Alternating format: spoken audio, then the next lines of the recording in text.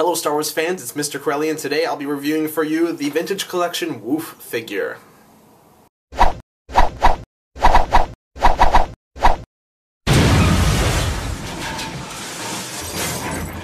So this guy is one fantastic figure and I'm really glad I picked him up. Um, he comes with uh, two weapons, this uh, Vibro Axe, uh, which you've seen before on other figures like uh, the um, the Weequay that I reviewed the other day, um, only this is a brown one, the Weequay one was a gray. I might have got that backwards in the other video. Um, he also comes with this uh, uh, blaster pistol, um,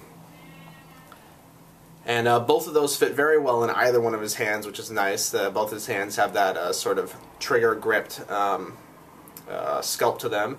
He also has this removable helmet, which is really cool, very unique looking. it fits all right on his head. Uh, it, it doesn't fall off normally, but if you ever move his head, it, it's it's it feels very loose and will come off um, every time you try to move it.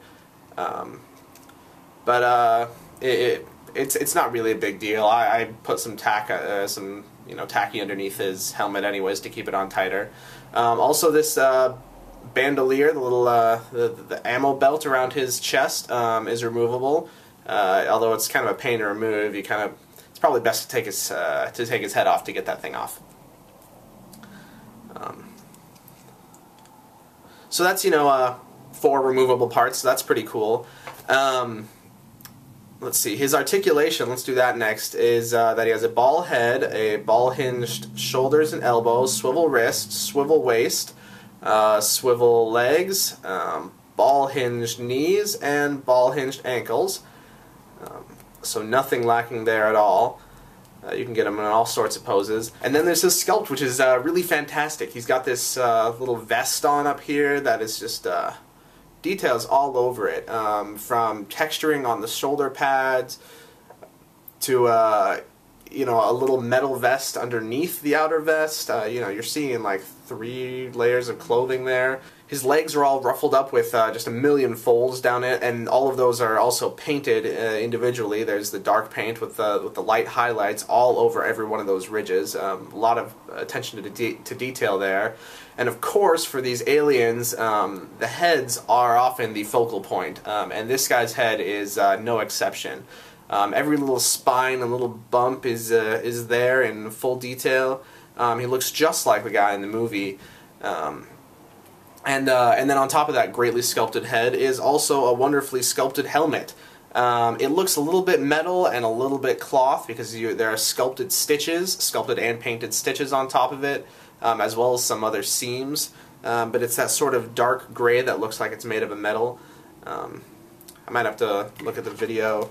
No, even in, in the picture it's hard to tell if it's leather or if it's metal. Um, but all in all, the sculpt is fantastic. And of course, one thing that's immediately noticeable about this guy is uh, is this soft goods um, skirt, and it's it's really it really is soft goods. It's it's soft. It feels like uh, like lamb or something. I, I don't know what it is, but it's uh, it's it's much softer than than any other soft goods that I've uh, felt on a figure before. Except, let's see. No, yeah, it's this is definitely the the the softest, um, most uh, pleasing to the touch uh, soft goods that I've seen on a figure, and it it uh, because it's so unique, it gives them a really unique look too. Um, no matter how many uh, no matter how many Jabba's goons you have in your collection, uh, this guy's going to stand out as different because he's not just you know in this brown garb you know, that looks the same as the rest of them. He's in uh, you know like four different main colors. Got green skin and this cool soft goods uh, skirt. He's uh, he's he's definitely a unique figure. Really, the only complaint that I could possibly have about this guy is maybe that his uh, his helmet is a little too loose. Um, that that's a little bit annoying. Uh, but other than that, he's not lacking in any department. He has great articulation, um, great sculpt, uh, beautiful paint. Although it's not not as weathered as it could be, um, but just the variation in colors um, uh, distracts you from the fact that there's not a lot of weathering except for on these uh, these pants. Um, you know, he's got two weapons, removable helmet, and that removable uh, chest strap. Um, so he, in the accessories department, he's great. Um, this is really a, a fantastic figure.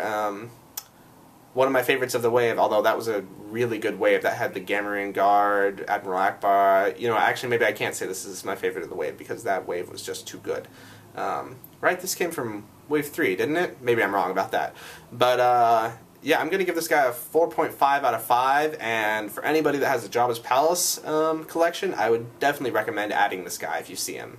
Alright, uh, thanks for watching, and may the Force be with you.